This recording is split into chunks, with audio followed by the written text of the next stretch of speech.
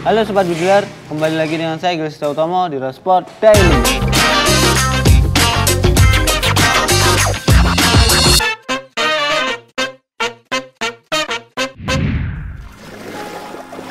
Oke hari ini kita mau mereview satu pengiriman kepada Bapak Arso dengan alamat Desa Pembakulan RT RT 1 RW 1 Kecamatan Batang Alai Timur Kabupaten Hulu Sungai Tengah Kalimantan Selatan ya. Seperti ini untuk alamatnya Bapak Arso ya. Dan di sini untuk Bapak Arso memesan yaitu sub Pegasus RD Chrome ya. Seperti ini. Senapan yang mantap sekali ini. Sudah melegenda ya.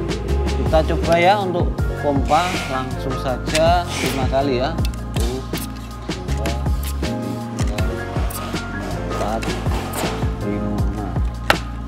untuk Pegasus sendiri untuk stangnya ini panjang ya jadi enak saat dipompa nggak terlalu berat. Oke mantap ya.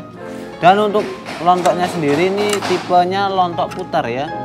Jadi kita harus memutar dulu biar uh, lontok yang di depan ini terbuka. Ketika diputar kita tarik ke belakang. Kalau diputar gini aja sudah ke belakang ya. Mantap. Ya kita coba. Mantap ya bisa dilihat untuk visirnya ini masih lurus. Oke ya mantap sekali. Kita bungkus. Oke. Dan untuk poppernya sendiri untuk Pegasus RDS Chrome ya seperti ini. Ini uh, sudah mantap ini ya. Warnanya cok hitam merah ini hitam merah. Mantap sekali. Dan siap untuk meluncur ya belum ada luka-luka atau lecet-lecet yang parah. Ya oke okay lah siap kirim lah oke. Dan seperti biasa untuk sub Pegasus sudah ada kelengkapan ya untuk kelengkapannya sendiri. Seperti biasa ada tali sandang Pegasus seperti ini. Kemudian ada lagi swivel tali sandang. Ada juga perdam serpat Pegasus kemudian ada juga gantungan mimis mimis tes dan juga yang terakhir ada stiker senapan 123.com dan tidak lupa di sini uh, di setiap pembelian sub Pegasus ya itu sudah ada STKS nya seperti ini untuk STKS mantap sekali. Jadi surat uh, senapan ini sudah ada surat izinnya dari kepolisian dan pemerintah ya dan perlu diketahui lagi untuk sub Pegasus ini untuk OD nya OD tabungnya 25 dan untuk OD larasnya atau kalibernya itu 4,5 mm dan Rosport tidak pernah menjual uh, senapan angin yang berkaliber di atas 4,5 ya karena itu sudah termasuk melanggar undang-undang. Dan di sini beliau juga menambah lagi yaitu telebasnel ini ukurannya 39 kali 40 ya bisa dilihat sendiri di situ. Oke. Kita buka.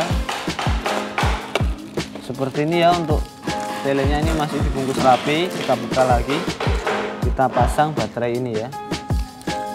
Biar vertikal warna di uh, sini bisa nyala. Ini warnanya sudah RGB ya sekali.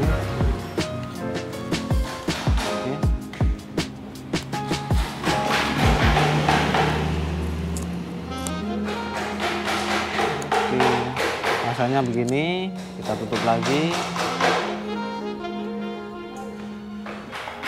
Oke, kita tutup. Ini nyala ya. Bisa dilihat sendiri ini nyala. Kelihatan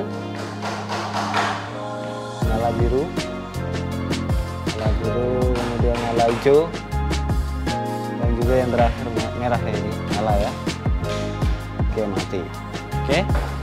Dan oke ya itu tadi review pengiriman kepada Bapak Arso di Kalimantan Selatan. Semoga nanti kirimannya selama sampai tujuan dan bermanfaat. Dan saya mengimbau nanti kalau sudah kirimannya sudah sampai di rumah dicek lagi di depan petugas kantor pos untuk memeriksa keadaan senapan ini ya dan Untuk sobat widiler yang ada di Kalimantan Selatan, jangan ragu-ragu order di Rospot karena sudah ada contohnya Bapak Arso ini.